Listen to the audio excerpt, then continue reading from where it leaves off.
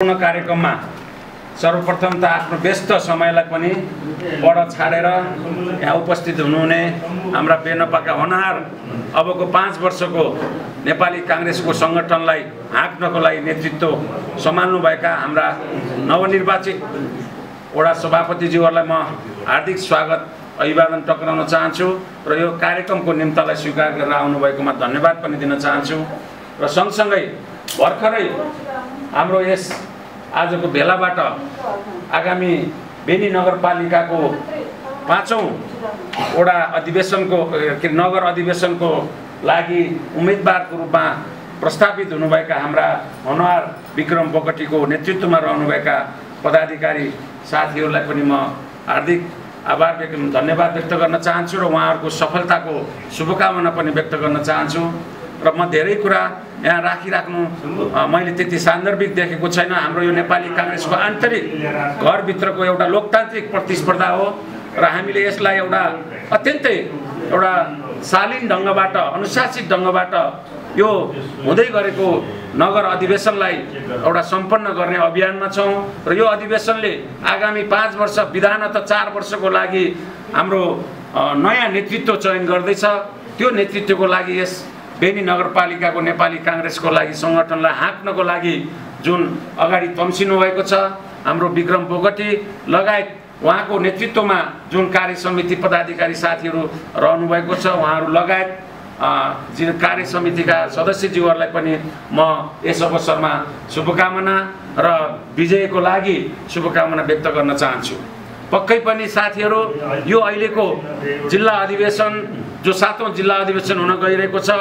धेरै लामो प्रतीक्षापछि भइरहेको छ र आज पनि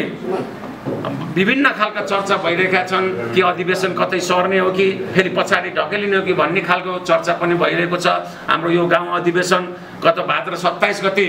को लागि तोकिएको अवस्था थियो विशेष कारणवश त्यसलाई फेरि पोस्टपोन गरेर असोजको नौ गते एउटा राखिएको छ र हामीलाई आशा छ तोकिएको असोज नौ गतेभित्रमा ए, के अरे यो अधिवेशन सम्पन्न हुनेछ। हिजो मात्रै निर्वाचन जो केन्द्रबाट खटिएर आउनुभएका निर्वाचन अधिकृतज्यू र पार्टीको पदाधिकारी साथीहरूको बिचमा एउटा म, हामीले बैठक राखेका थियौँ र त्यो बैठकले म्याग्दी जिल्लाको बेनी नगरपालिका लगायत पाँचवटा गाउँपालिकाको अधिवेशनलाई सफलतापूर्वक सम्पन्न गर्नको लागि हामीले चाहिँ ऐतिहासिक निर्णय गरेका छौँ र त्यो निर्णय अनुसार भाद्र नौ गते असोज नौ गते हाम्रा म्याग्दीका छवटै स्थानीय पालिकाहरूमा नेपाली काङ्ग्रेसको एउटा भव्य र सभ्य अधिवेशन सम्पन्न हुनेछ र त्यो अधिवेशनले नयाँ नेतृत्व स्थापित गरेर म्याग्दी काङ्ग्रेसलाई एउटा सशक्त रूपमा अगाडि बढाउनको लागि एउटा सफलता प्राप्त गर्नेछ भन्ने आशा लिएका छौँ। र हामीले गत भाद्र अठार गतेको जो पैँतालिसवटा वडा जो म्याग्दी जिल्लामा रहेको छ त्यो सबै वडामा दुईवटा वडा बाहेक बाँकी सबैमा सर्वसम्मत ढङ्गबाट हामीले नेतृत्व चयन गर्ने क्षेत्रीय अधिवेशन प्रतिनिधि हामीले चाहिँ चयन गर्ने कामहरू एउटा सफलतापूर्वक सम्पन्न गरेका छौँ र त्यो ऐतिहासिक अधिवेशन वडा अधिवेशन हामीले मानेका छौँ। त्यसै गरेर आउने यो नगर तथा गाउँ अधिवेशन त्यस्तै गरेर हाम्रो भाद्र बाह्र गते असोज बाह्र गते हाम्रो दुईवटा प्रदेश ख र प्रदेश कको प्रदेश स्तरीय अधिवेशन हुनेछ र असोज पन्ध्र गते हामीले जिल्ला अधिवेशन म्याग्दीको सदरमुकाम बेनी बजारमा जिल्ला अधिवेशन भव्यताका साथ सम्पन्न गर्न गइरहेका छौँ। यो विभिन्न खालको यो नयाँ अभ्यास पनि भइरहेको छ। हाम्रो विगत प्रणालीभन्दा राजनैतिक प्रणालीभन्दा यो फरक ढङ्गले सङ्घीय लोकतान्त्रिक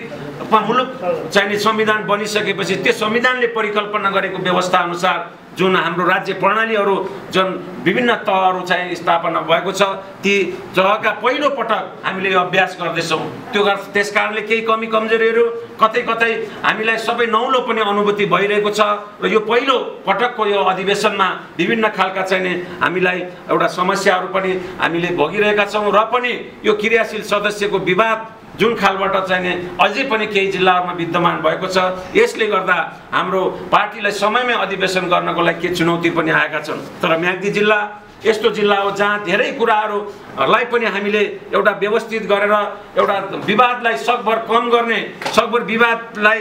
केही असहमति हुँदाहुँदै पनि एउटा जिल्लाको सङ्गठनलाई ध्यानमा राखेर हामीले त्यसलाई विवाद को रूपमा नलिएर त्यसलाई एउटा खालको चाहिँ अ, सङ्गठनलाई मध्यनजर गरेर हामीले त्यसलाई सहज रूपमा लाने प्रयत्न गरेका छौँ। त्यस कारणले थुप्रै एउटा विधि र पद्धति विपरीत अथवा केही कुरा प्रक्रिया नपुराइ रहेको अवस्थामा पनि हामीले पार्टीलाई एउटा चाहिँ नि गलत दिशातिर नजाओस् र पार्टीलाई एक ढिक्का होस् भनेर धेरै कुराहरू हामीले त्यस्ता कुराहरू कुराहरूलाई पनि चाहिँ नि पैतालामा राखेर एउटा हामीले म्याग्दी जिल्लामा कहीँ कतै पनि एउटा क्रियाशील सदस्यमा विवाद को रूपमा चाहिने नलिएर यसलाई चाहिने सहज ढङ्गले हामीले लिएका छौँ र त्यही फलस्वरूप हामीले म्याग्दी जिल्लाको सबै कामहरू सर्वसम्मत ढङ्गबाट हुँदै आएको छ र आगामी हाम्रा प्रदेश तथा जिल्लाको अधिवेशनलाई पनि हामीले सकभर एउटा जिल्लाको सङ्गठन र भोलि आउने स्थानीय निर्वाचन र प्रदेश निर्वाचन को समेत सङ्घ निर्वाचनलाई ध्यानमा राखेर म्याग्दीको ऐतिहासिक एउटा चाहिँ सर्वसम्मतिको रूपबाट सबै साथीहरूको जित हुने ढङ्गबाट सबै साथीहरूलाई एउटा चार तारे झन्डाबद्ध गोलबद्ध हुने ढङ्गले सबै साथीहरूको चाहिने एउटा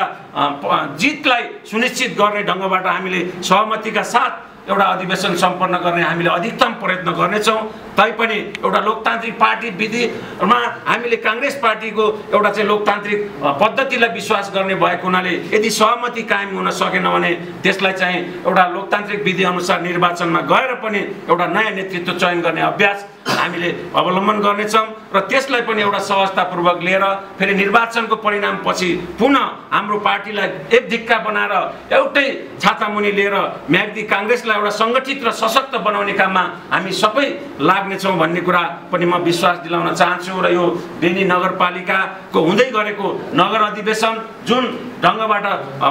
असोज नौ गते हुँदैछ त्यसको लागि हाम्रा जो अहिले प्रस्तावित भएका हाम्रा चाहिँ उम्मेदवार साथीहरू जो चाहिँ सशक्त रूपमा हरेक क्षेत्रमा चाहिँ एउटा आफूलाई सफलीभूत बनाउनुभएका र एउटा योग्य सक्षम साथीहरूलाई हामीले एउटा चाहिँ पदाधिकारीमा राखेका छौँ। पक्कै पनि हाम्रो विक्रम बोगटी जो एउटा विद्यार्थी राजनीतिक कालदेखि नै एउटा नेपाली काङ्ग्रेसको भातृ संस्था नेवी सङ्घको सङ्गठनमा गोलबद्ध हुँदै आफ्नो राजनीतिक एउटा यात्रालाई अगाडि बढाएको एउटा सक्षम र एउटा चाहिँ होनार एउटा युवाको रूपमा हामीले देखेका छौँ र उहाँले यो नेतृत्व लिएपछि पक्कै पनि बेनी नगरपालिकाको सङ्गठनलाई सशक्त रूपमा हार्न सक्ने क्षमता उहाँमा छ भन्ने कुरा पनि हामीलाई लागेको छ। त्यति मात्र होइन उहाँ एउटा नेपाली काङ्ग्रेसको म्याग्दीको संस्थापक अध्यक्ष ओमबहादुर बोगटीज्यूको एउटा चाहिँ परिवारभित्रको पनि एउटा सदस्य भएको हुनाले एउटा नेपाली काङ्ग्रेसको रगतसँग पनि उहाँको नाता जोडिएको एउटा व्यक्ति हो। त्यसैले पनि मलाई लाग्छ उहाँ जस्तो एउटा योग्य र सक्षम व्यक्तिलाई हामीले एउटा नगर सभापतिको चाहिँ उम्मेदवार प्रस्ताव गर्दै गर्दा जो नगरपालिकाभित्रका रहेका हाम्रा चुनिएर आएका क्षेत्रीय प्रतिनिधिहरूले आफ्नो एउटा विवेक प्रयोग गरेर उहाँ जस्तो एउटा सशक्त व्यक्तिलाई आफ्नो मत दिएर उहाँलाई जिताउनु हुनेछ भन्ने कुरा पनि हामीलाई आशा र विश्वास छ। पक्कै पनि उहाँ सफल हुनेछ र उहाँ मात्र होइन सिङ्गो नगरपालिकाको नेपाली काङ्ग्रेस एउटा सफल हुनेछ। त्यही आशा र विश्वास राख्दै फेरि पनि यहाँ उपस्थित हुन नसक्नुभएका धेरै थुप्रै हामीले धेरै त्यति ठुलो तामझामका साथ नगरिकन एउटा सीमित एउटा चाहिँ साथीहरूलाई हामीले यहाँ निम्ता गरेका थियौँ। विशेष गरेर हाम्रो भर्खरै निर्वाचित भएका हाम्रा वडा सभापति जो नेपाली काङ्ग्रेसको एउटा चाहिँ खम्बाको रूपमा वडामा रहनुभएको छ उहाँको प्रतिनिधिमूलक ढङ्गबाट उहाँहरूलाई यो कार्यक्रममा चाहिँ हामीले उपस्थित गराएका थियौँ र यो कार्यक्रममा एउटा वडाको सभापति बाहेक झन्डै दसवटा मध्ये नौवटा वडाका वडा सभापतिज्यूहरूको यहाँ उपस्थिति रहेको छ। यो उपस्थितिले पनि एउटा सङ्केत दिएको छ कि यो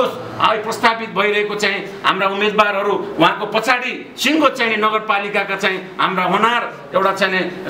पार्टी सभापतिज्यूहरू उहाँको साथमा हुनुहुन्छ। त्यसैले पनि उहाँको आजको एउटा चाहिँ उम्मेदवारीले ठुलो उत्साह र उमङ्ग हामीलाई प्रदान गरेको छ। पक्कै पनि उहाँहरूले आफ्नो आफ्नो वडामा गएर उहाँलाई हाम्रा उम्मेदवारलाई विजय गराउने सवालमा उहाँहरूले पनि अहम भूमिका खेल्नुहुनेछ र पक्कै पनि यो सबै हामी सबैको प्रयत्न भनेको नेपाली काङ्ग्रेसको सङ्गठनलाई मजबुत बनाउने नगरपालिकामा सशक्त रूपमा अगाडि लाने हाम्रो प्रयत्न हो। यो प्रयत्नलाई सार्थकता दिनको लागि जो चाहिने हाम्रा थुप्रै यहाँ उपस्थित हुनु नभएका हाम्रा क्षेत्रीय प्रतिनिधि जो मताधिकार लिएर बस्नुभएको छ म उहाँहरूलाई पनि आग्रह गर्न चाहन्छु। यो टिमलाई उहाँले आफ्नो अमूल्य मत दिएर विजय गराउनुहुनेछ यही एउटा चाहिँ शुभेच्छाका छ। त्यही आग्रहका साथ यो टिमको पूर्ण सफलताको कामना गर्दै यहाँ उपस्थित हुनुभएको छ। सीमित समयमा सीमित खबरको आधारमा जो जति साथीहरू यहाँ